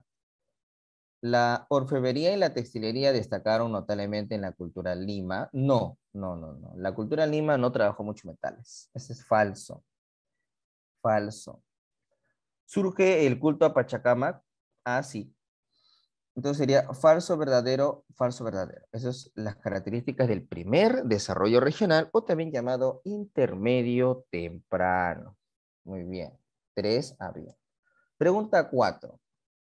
Una de las culturas más emblemáticas que se desarrolló entre el 600 y el 1200 fue la cultura Wari, la cultura Wari. A ver, sobre su desarrollo cultural indique los valores de verdad o falso según corresponda. Sobre Wari. Construyeron diversas yachtas, entre ellas Piquillachta, la cual fue una cabecera de región en Cusco. Eso es verdadero. ¿El Capañán les permitió mantener el control comercial y militar de las zonas sometidas? Verdadero. En textilería destacaron en confección de gorros de cuatro puntos. Verdadero. Tomó el culto del dios de los báculos, muy notable, muy probablemente de Tiahuanaco, y lo difundió en su espacio verdadero. Verdadero. Why? Es una síntesis de tres sociedades. Huarpa, Nazca y Tiahuanaco. Eso, eso es verdadero. Eso es verdadero. De Huarpa, Nazca y Tiahuanaco. Eso es verdadero. ¿No? Eh, pero luego dice, siendo la base original de su desarrollo el pueblo Nazca. Ah, no, eso es falso. La base original de su desarrollo no es el pueblo Nazca. Es la cultura Huarpa. Son los Huarpas, no los Nazca. ¿Ok? Muy bien. Entonces sería acá la D, alternativa D. Cinco. El Estado le entregaba a cada Jatunruna una extensión de tierra llamado topo equivalente aproximadamente a 2.700 metros cuadrados. Por esposo, un topo, dice, ¿no? Por esposa, medio topo. Estas eran entregadas en usufructo que consistía en, en usufructo, consistía en derecho a uso de propiedad de la tierra, el uso y disfrute de la tierra, pero no la propiedad. Claro. Muy bien, sería B, beso. Beso. Siguiente pregunta. Mientras los mitayos, ¿quiénes eran los mitayos? ¿Se acuerdan quiénes eran los mitayos? Ah, claro. Los mitayos eran las personas que trabajaban, que se desplazaban de un lugar a otro. No, no eran jatunrunas. No, no. Son personas que se desplazaban de un lugar a otro. Los llamados mitayos. Ahí vamos a ver por acá. A ver, dice, mientras los mitayos eran una forma de trabajo temporal utilizada por el Estado Imperial Incaico, los yanaconas, ¿quiénes eran? ¿Quién eran los yanaconas? La respuesta sería explotados permanentemente. Claro, el yanacona explotado a tiempo completo, de manera permanente. Así es. ¿Ok? Muy bien, ¿qué más? Siguiente pregunta. Dice por ahí. Entre 1537 y 1554 se desarrollaron cuatro guerras entre españoles. Las causas que provocaron estos enfrentamientos, el análisis socioeconómico nos demuestra que tuvo un carácter, carácter, allá, las guerras tuvieron un carácter feudal, es decir, los conquistadores españoles querían ser señores feudales. Ellos querían apoderarse de tierras indígenas que trabajen para ellos, ¿no? Eran señores feudales. Muy bien. Siguiente pregunta. Dice, con la promulgación de las nuevas leyes de Indias, se fortaleció la posesión de la corona española en dominios americanos, viéndose perjudicados los intereses de quienes. ¿Quiénes iban a estar perdiendo? Los conquistadores españoles que habían llegado a estas tierras se habían convertido en una especie de encomenderos. Así es, eran dueños de las tierras de los indios, pero ellos iban a perder ahora todos sus privilegios. Con la creación del virreinato, los encomenderos perdían sus privilegios, ¿no? Entonces vamos a ver por acá. La respuesta sería la alternativa B, encomenderos. Muy bien. Siguiente pregunta. Dice, durante el gobierno del virrey Francisco de Toledo, durante el gobierno del virrey Francisco de Toledo, ¿sí? se sentaron las bases del régimen colonial. Toledo buscó imponer un modelo de organización política, social y económica al servicio de la metrópoli. Entre sus principales medidas se puede señalar, ¿cuál? Entre sus principales medidas, ¿cuál se puede señalar? Ah, Toledo es el que estableció el sistema de trabajo obligatorio por turnos, ¿no? A eso le llamaron la mitad profesor. Ah, muy bien. Entonces vamos a poner acá la mitad y también las reducciones. Muy bien, excelente. ¿Qué más? Siguiente pregunta. Dice, para mantener el monopolio comercial con sus colonias en América, España estableció flotas y galeones con el fin de... ¿Cuál es el objetivo de las flotas y galeones? Dice por ahí. A ver, el objetivo de las flotas y galeones. Ahí dice, a ver, evitar el contrabando de los ingleses, defender los piratas, mejorar, agilizar la importación y exportación. Recuerda que las flotas y los galeones son las embarcaciones que utilizan los españoles para trasladar productos de Europa hacia América. Pero en este sentido, para poder trasladar de manera más rápida, estas embarcaciones eran protegidas por barcos dedicados a la lucha contra piratas y corsarios, ¿no? Entonces vamos a ver en la pregunta 10, la clave sería de. Pregunta 11. Las tierras usurpadas a los indios eran llamados y fueron legalizadas mediante, allá, ah, los españoles, cuando llegaron a América, se apoderaron de tierras de indígenas, ¿no? Las tierras de los indígenas, las tierras de los indígenas, entonces, eh, profesor, ¿cómo se van a llamar? Se van a llamar sapsis. ¿Qué son los sapsis? Son las tierras de los indígenas, claro que sí, o sapsis. Y luego tenemos las composiciones. ¿Qué son las composiciones? La composición es un impuesto que pagaba un español, ¿sí? Es un impuesto que pagaba un español para que su tierra que ha invadido, que le ha quitado un español, sea legalizada. Así es, ¿no? Sea formal, tenga su título de propiedad. SAPSI y composición. Siguiente pregunta. Dice, el motín de Anapuquio fue el golpe de estado que sufrió el virrey Pezuela por parte de los generales realistas, imponiendo como nuevo virrey al general José de la Serna. Indudablemente, ello era indicador de las contradicciones y antagonismos en que se encontraba el bando realista que se hallaba dividido en. Bando realista dividido en. Ah, cuando le dan golpe de Estado al penúltimo virrey del Perú, los propios españoles, habían españoles que estaban a favor del poder absoluto y habían españoles que estaban a favor de las ideas liberales de España. Esos eran los dos bandos, ¿no? liberales y absolutistas. Pregunta 12 sería D. Pregunta 3. Las expediciones restauradoras contra la Confederación Perú-Boliviana, esto fue cuando Perú y Bolivia se juntaron en uno solo y Chile nos hace la guerra. Y se fueron organizadas las expediciones por Diego Portales. ¿Para qué? ¿Qué buscaba Chile al hacer estas expediciones? eliminar a un rival. La competencia comercial que le hacía la confederación. Así es. Pregunta 14. Entre 1850 y 1860, la corrupción estatal llegó a niveles extremos. Los recursos monetarios recibidos por el comercio del guano de las islas convirtieron al Estado peruano en un botín de civiles y militares en el poder. Los grandes recursos del guano llegaron a manos del Estado porque las islas guaneras eran propiedad estatal, ¿no? Razón por la cual, dice por acá, la lucha por el poder político se convirtió en un negocio altamente rentable. Los gobiernos de Castilla y Echenique legalizaron el saqueo a través de medidas.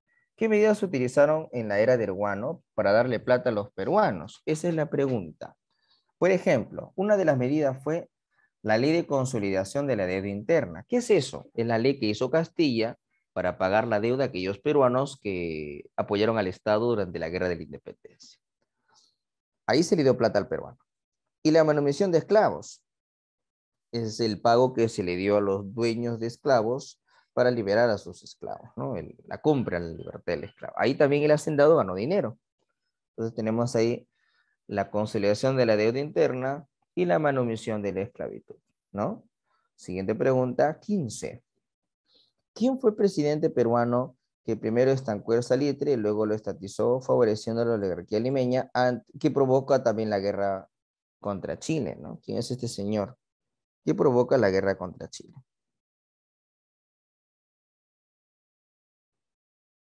Vamos a ver por acá. Ah, no se creen por el Chada. La B. Manuel Pardo es Manuel Pardo, la de Manuel Pardo y la.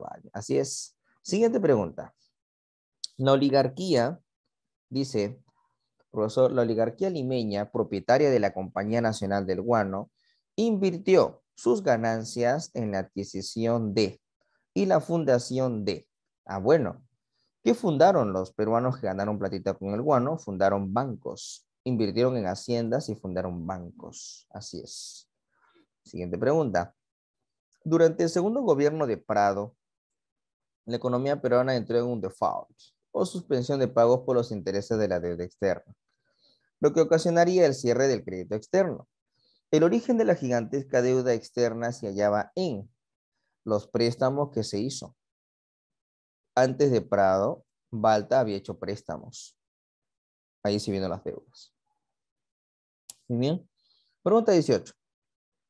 A ver, dice, un momento, wow, son más preguntas. Wow, entonces vamos a avanzar, que no se nos falte la hora. 18. El contrato Grace fue eh, un, convenio suscrito durante el gobierno de Cáceres, claro, para pagar la deuda externa, ¿no? ¿Cuál es el objetivo del contrato? Recuperar el crédito externo. Muy bien, 18 casos. 19.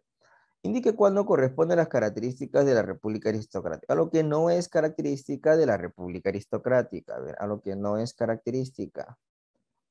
A ver, la organización de la clase obrera bajo la ideología marxista, eso no es característica. No había ideología marxista todavía. 19, nano. 20.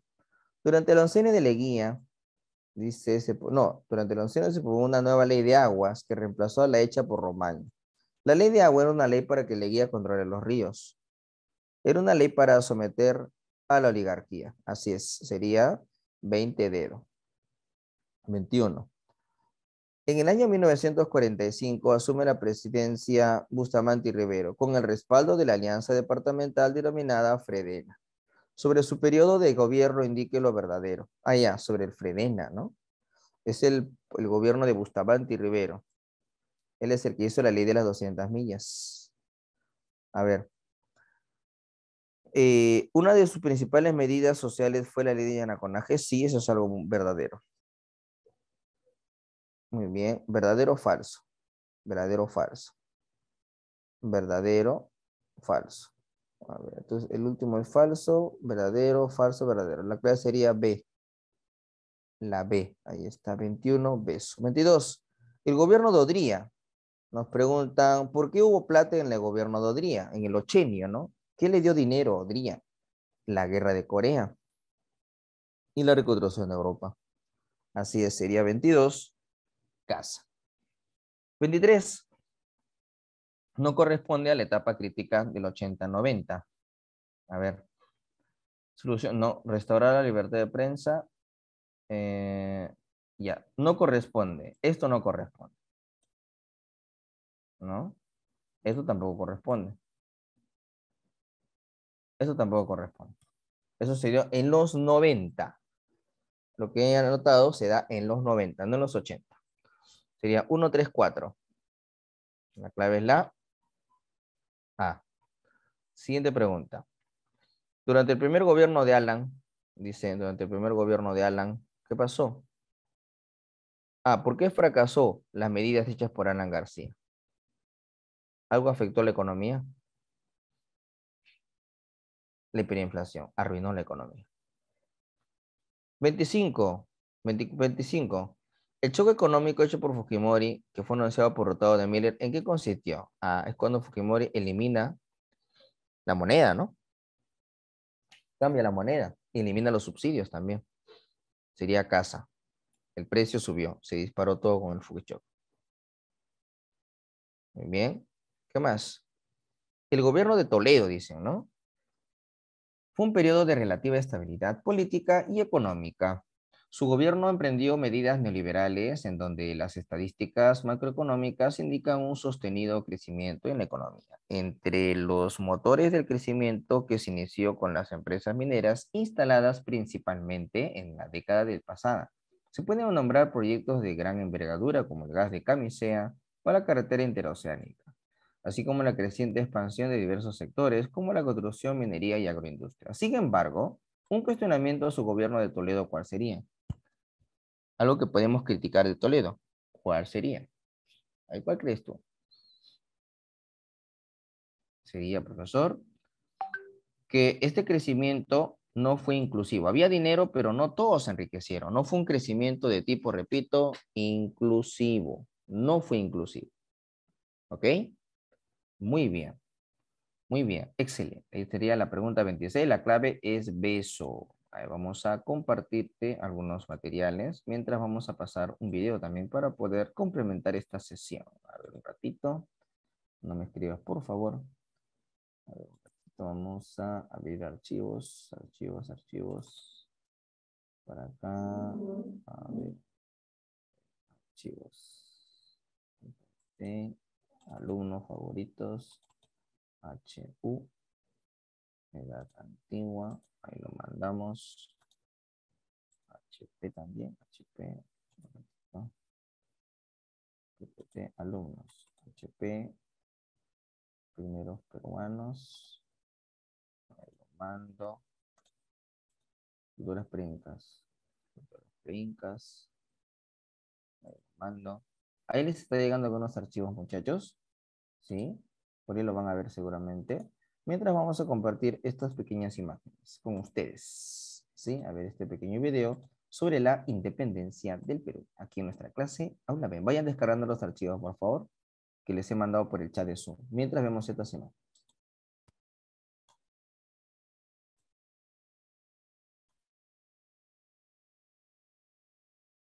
Hace mucho tiempo, en un imperio muy muy grande, eran días de guerra civil en tierras hispanas. Y aunque la era dorada de la monarquía universal había culminado, España a finales del siglo XVIII aún era un enorme y poderoso imperio. Sin embargo, debido a conflictos internos y a la creciente competencia con Inglaterra y Francia, la monarquía española decidió implementar las reformas borbónicas en un intento por recuperar su grandeza. Estas fueron una serie de medidas que modificaban la administración de sus territorios a fin de consolidar el poder sobre los mismos. Para ello, el virreinato del Perú jugaba un rol central como el eje político, económico y militar de la monarquía española en América del Sur. Este era el nudo del imperio, como afirmaba Simón Bolívar, y mientras permaneciera intacto con sus montañas de oro y plata, el control español sobre América del Sur continuaría. Pero las reformas borbónicas significaban un nuevo pacto colonial y su imposición pronto traería consecuencias. Es así que explota la gran rebelión de Tupac Amaru II, en buena parte una protesta de la población indígena contra las reformas, sobre todo respecto al pago de nuevos impuestos, y a pesar de que Tupac Amaru no buscaba la independencia, logró hacer reaccionar a la monarquía de una manera brutal. Creció el pánico a nuevos levantamientos. Así que el gobierno virreinal, además de reprimir, fortaleció el ejército, relegó a los criollos y mestizos del gobierno y tachó para siempre la herencia indígena e incaica. Es entonces que entró al poder el virrey Abascal, un experimentado militar que fortaleció el ejército real y por 10 años intensificó la represión y aplastó todo intento independentista dentro y fuera del Perú. Esta arremetida realista no gustó a muchos y quienes antes lucharon por el rey pronto levantarían armas en Cusco contra él, debilitando la hegemonía del ejército virreinal y preparando el terreno para futuras expediciones libertadoras. Se habían iniciado las guerras de independencia. Se avecinaba un periodo de gran conflicto para el virreinato del Perú. Abascal fue sucedido en 1816 por Joaquín de la Pezuela, quien se vio en la necesidad de movilizar las fuerzas realistas en tiempo récord donde fueran necesarias, por lo que consolidó el poder económico y militar en Lima, donde el puerto del Callao jugaba un rol crucial. Esto hacía peligrar el proceso emancipador de todo el subcontinente. Así que el libertador José de San Martín, velando por la independencia que recientemente habían ganado en el Río de la Plata, la actual Argentina, y luego en Chile, consideró tomar la capital del Virreinato del Perú como prioridad número uno. Este virreinato tenía poco más de un millón de habitantes y unos 64 mil vivían en Lima, una ciudad aristocrática, con esclavos y libertos que trabajaban en las haciendas y convivían con indios, mestizos, criollos y españoles. Y aunque se ha sostenido que el Perú no quería independizarse y que por ello ejércitos extranjeros tuvieron que liberarlo, la realidad, sin embargo, es mucho más compleja. Ciertamente muchos peruanos preferían mantener los privilegios virreinales. Además, cientos de comerciantes y hacendados entregaron préstamos para defender el virreinato. Si el Perú se independizaba, perderían para siempre su dinero. Y ya sabemos que...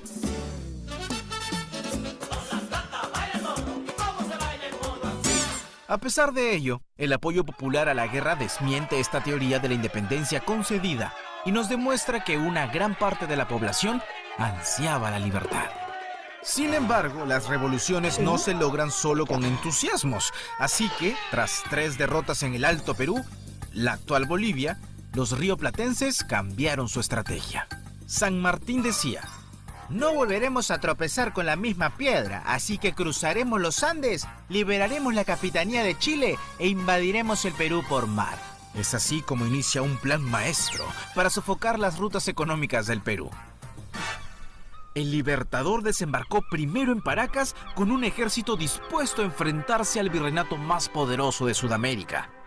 Este a su vez fue reforzado con columnas rebeldes, formadas por esclavos y peruanos libres que se sumaban al ejército o apoyaban como podían.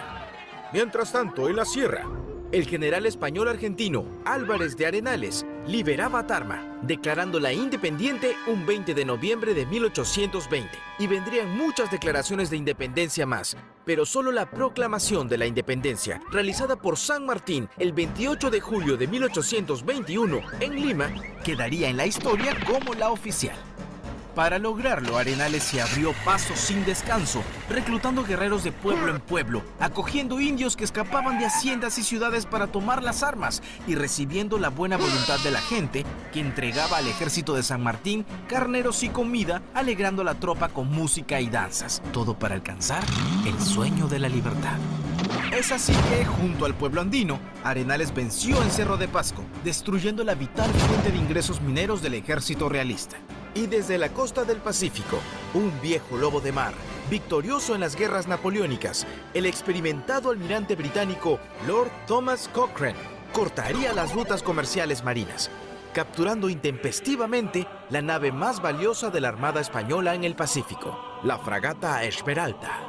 Bajo su mando, esta sería ahora usada para asaltar las embarcaciones comerciales que abastecían a los ejércitos realistas, logrando incluso que muchos soldados del ejército enemigo cambiaran de bando. Con este movimiento de pinzas, los libertadores se abrían paso a Lima. Este imparable avance inspiraba al pueblo peruano, que colaboró con la expansión patriota, muchos de ellos convertidos en leyendas, como las valerosas heroínas Toledo, la madre Cleofé y sus hijas, María e Higinia, que se levantaron en Concepción Junín para sabotear a los realistas al derribar el puente colgante por donde el ejército enemigo avanzaba hacia su ciudad. Con este y otros asaltos de guerrilla, los realistas sufrían grandes pérdidas y su derrota parecía inminente. Entretanto, en Lima, el bloqueo comercial se empezaba a sentir. El hambre, el robo y la enfermedad azotaban la ciudad. El caos parecía no tener fin. Y en su momento más vulnerable, el virrey Pezuela sufrió en el mismísimo 1821 un golpe de estado por parte de su comandante José de la Serna, en lo que se denominaría el motín de Aznapuquio. En tres siglos de dominio español, nunca se había depuesto a un virrey, y esto sucedía en medio de una lucha independentista. Los días del virreinato parecían contados. El Estado colonial implosionaba y la Serna entendió que Lima estaba perdida. Es por ello que propone un encuentro con San Martín, pero toda negociación pasaba por la independencia del Perú, que el rey español no había autorizado, por lo que en esa conversación la comunicación estaba algo de más. Así, los realistas se vieron obligados a cambiar de estrategia y concentraron sus fuerzas en la sierra, donde aseguraron las pocas minas de plata restantes, dejando a San Martín con las puertas de Lima abiertas, declarándola independiente el 28 de julio. Y aunque fue recibido como un salvador, el libertador sabía que la batalla recién comenzaba. Construir la nueva República del Perú no fue fácil. Cambiando los rifles por decretos, San Martín ahora se enfrentaba a los soldados invisibles de la política limeña, una ciudad donde pateabas una piedra y saltaban dos marqueses, tres condes y un puñado más de curas, además de comerciantes aliados a la corona española.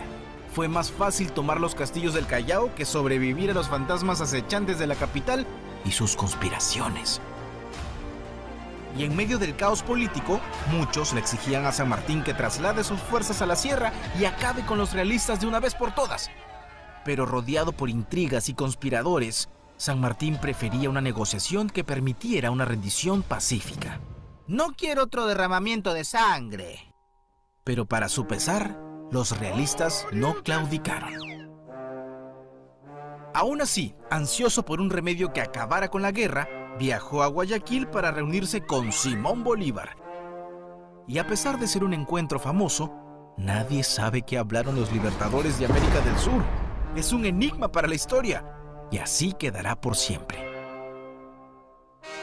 Lo que sabemos es lo que sucedió luego. San Martín y su ejército se debilitaban, mientras Bolívar, con paciencia, esperaba su momento. Es así como en septiembre de 1822, con San Martín fuera de Lima entrevistándose con Bolívar, aconteció una guerra ideológica entre los republicanos liderados por Faustino Sánchez Carrión, el solitario de Sayán, y el ministro Bernardo Monteagudo, con sus allegados, quienes querían que en el Perú se instale una monarquía constitucional con un príncipe europeo o un heredero inca como rey. Pero Monteagudo y sus ideales no fueron rival para la impecable retórica del solitario de Sayán, que además hizo astuto uso del poder de la un joven prensa escrita. El protectorado cayó en desgracia y San Martín decidió abandonar el Perú, dejando el poder en manos del recién fundado Congreso Constituyente y su junta gubernativa, presidida por José de la Mar. La inauguración creó ilusión y esperanza, pero esto no resolvió el problema de la guerra, ya que los españoles se fortalecían en la sierra, deseosos de contraatacar. Por otro lado, el almirante Cochrane, cansado de la inacción patriota, meses atrás había abandonado el mar peruano para no volver más. Y aprovechando la situación, los realistas sitiaron Lima. La guerra volvió a aterrorizar la capital. Las derrotas republicanas se sucedieron una tras otra en las llamadas campañas a intermedios, y la junta gubernativa, liderada por José de la Mar, empezó a fragmentarse y perder legitimidad, culminando con el golpe de balconcillo. Un levantamiento realizado por un ejército indisciplinado e impago que impuso al limeño José de la Ribagüero como el nuevo presidente. Este suceso puso en evidencia, con dolorosa claridad, la profundidad de la crisis de institucionalidad que se vivía a menos de dos años de declarada la independencia. Y a pesar de que San Martín se alejó para que asumiéramos el gobierno, parecía que el Perú no estaba preparado para la tarea. La guerra se prolongaba y cada vez más voces demandaban que Simón Bolívar, líder indiscutido de la independencia del norte del continente, ingrese victorioso al Perú con su ejército gran colombiano para salvar a la recién nacida República Peruana.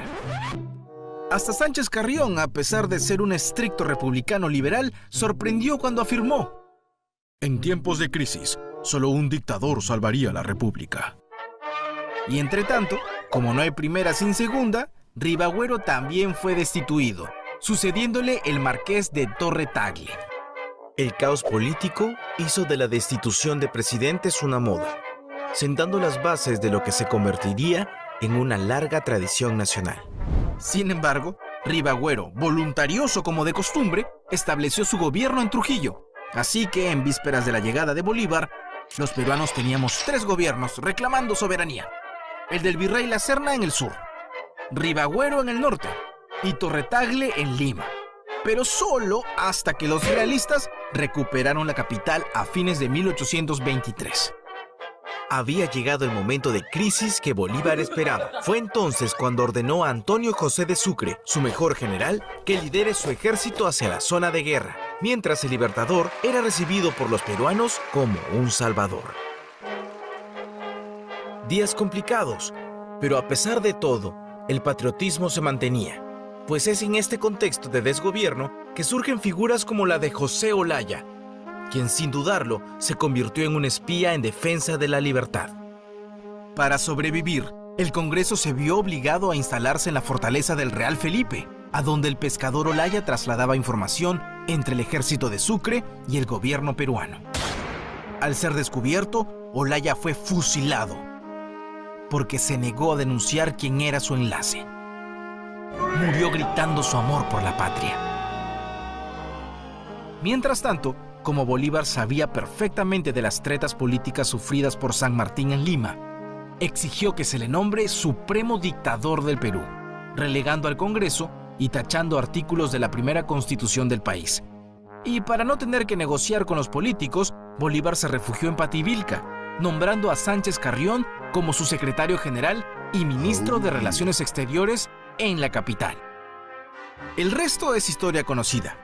El ejército de Bolívar completó su labor militar en Junín y Ayacucho, y después de esta batalla se firmó la capitulación de las fuerzas realistas, que aceptaron su derrota. Aún así, el Callao se resistía. Sucedió que los soldados republicanos, hartos de no recibir paga, hicieron un motín en la fortaleza del Real Felipe, ocasión que los realistas aprovecharon para recuperar los castillos del Callao. Fue ahí donde un monarquista fanático, el general Rodil, resistiría 13 meses hasta que se rindió en enero de 1826, firmando la capitulación del Callao. Fue uno de los últimos reductos realistas de Sudamérica en rendirse en las batallas decisivas de la independencia. El único peruano que Bolívar nombró jefe de división del Ejército Unido Libertador del Perú fue el mariscal José de la Mar, para algunos el primer presidente de la República, además de comandante del Batallón Perú en Ayacucho. Con los realistas finalmente fuera del país, recibió la solemne labor de dirigir la República hacia el futuro. Pero como no hay segunda sin tercera, para cerrar con broche de oro el caos político del proceso independentista, se hizo honor a la nueva costumbre del golpismo. Lamar fue derrocado y deportado a Costa Rica donde murió de pena pensando en el Perú. La agitación política es una constante en nuestra historia. Solo entre 1821 y 1829, la naciente república sufrió cinco golpes de Estado. La independencia fue un proceso deseado, pero que no supimos gestionar y la era de los caudillos que le sucedía sería la manifestación radical de esta agitación que marcaría los siguientes 50 años de la República. Pero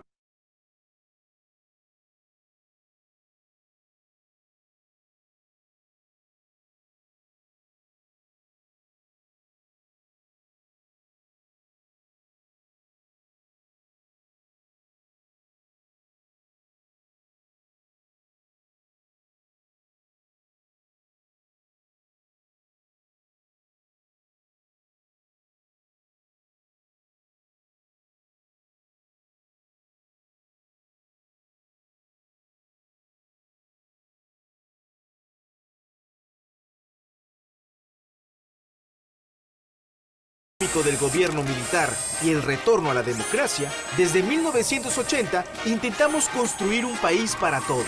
Pero, empecinados en un modelo estatista, en el segundo gobierno de Fernando Belaúnde se inició una crisis generalizada que estalló en el primer gobierno de Alan García. Hiperinflación, terrorismo, más de 70.000 muertos, destrucción de la infraestructura. La vida estaba marcada por toques de queda y una violencia generalizada. Fueron años donde contemplamos el abismo y se perdió la esperanza. Las elecciones de 1990 fueron las primeras donde se eligió a un outsider, el entonces desconocido Alberto Fujimori Fujimori. La inesperada respuesta del electorado reveló el tajante rechazo de la ciudadanía contra la clase política tradicional. A inicios de los 90, una cuidadosa estrategia de inteligencia policial permitió capturar a los cabecillas de las organizaciones terroristas Sendero Luminoso y el MRTA y comenzar así la pacificación del país. La década de Fujimori tiene varios puntos de conexión con el oncenio de Leguía. Ambos fueron civiles con gran popularidad, aliados del capital extranjero. Sin embargo, sus gobiernos acabarían abruptamente debido al autoritarismo y la corrupción. La presidencia de Fujimori colapsó en medio de escándalos de todo tipo en el año 2000. A pesar de sus diferencias, todos los gobiernos posteriores mantuvieron el modelo económico. Las sucesiones presidenciales, aunque democráticas, no estuvieron exentas de controversias. El Perú urbano de los emprendedores, de la inversión minera, del boom gastronómico, no resolvió el problema de la exclusión y la modernización del país no fue equitativa. Existen hasta hoy un Perú oficial y un Perú informal, y una construcción democrática cabal hace necesario integrar a todos los ciudadanos.